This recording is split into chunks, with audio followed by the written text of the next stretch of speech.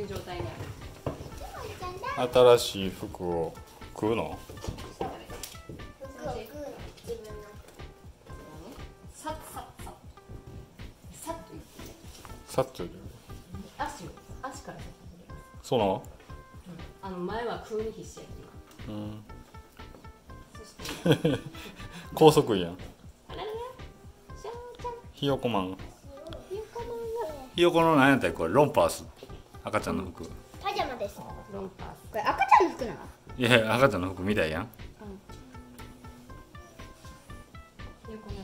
首の毛ち首の毛ち足が出てきた。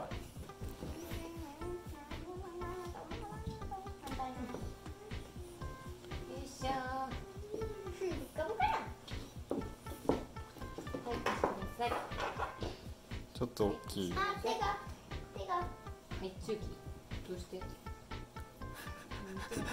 あらららら待ってお買いおばけさんまくっちゃったらクリクリっと抜ける赤ちゃんの中にはいそれではいあ切れた赤ちゃんできましたよいよいよ赤ちゃんになってきたきたこれで今なんか気も気あの気を曲げらしたらなんか別のもんかまして服髪行きほらほらはは早から分からんでしょ早からほら服のこと忘れかて 骨加えて。早服のこと気にならん。あでもまだあれやね。もうちょっと大きくもうん大きくならんとうんちしたら大変なことになるね。かわいい。かわいいね。もうちょっと大きくなったらここら辺も全部がちょうど、うんそうやね。寒なった頃にはちょうどなっちがないそれを見越して1か一ヶ月後にはね1キロ増えるき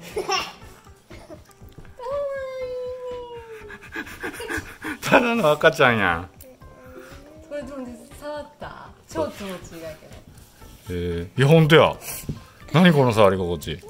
すごいね。T シャツじゃないがや。ベロアっぽい。T, うん T シャツ生地かと思った。しかもすごいあの伸びる。伸びるね。ええやん苦しくないし、えここになんかボタンがあるけど。うん、何これ？お飾り。これ何？このステッチ。これも飾り。おむつだよっていう赤ちゃんの。ああ本当は赤ちゃんにしてるか。うーん。このボタンはいらんかったかもしれんね、噛んで割って食うたらいかんき。あでもかわい。い正直いいところまくらせて。ママごめんねお先に一人で堪能しよってこれを昨日の夜なんか服めっちゃ見よったよやめてこれええわすごいストレッチ素材で。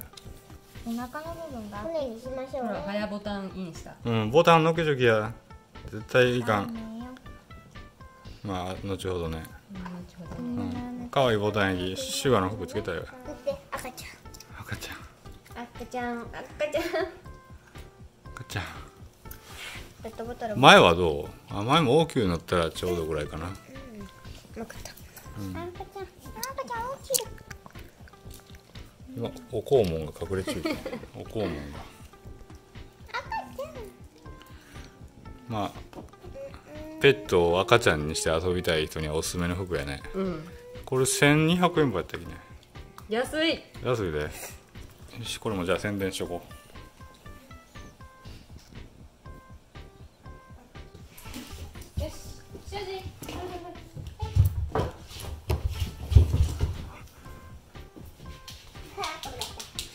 う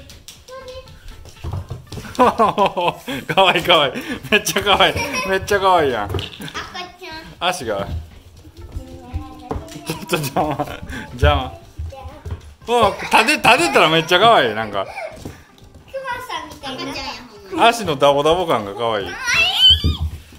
赤ちゃん赤ちゃん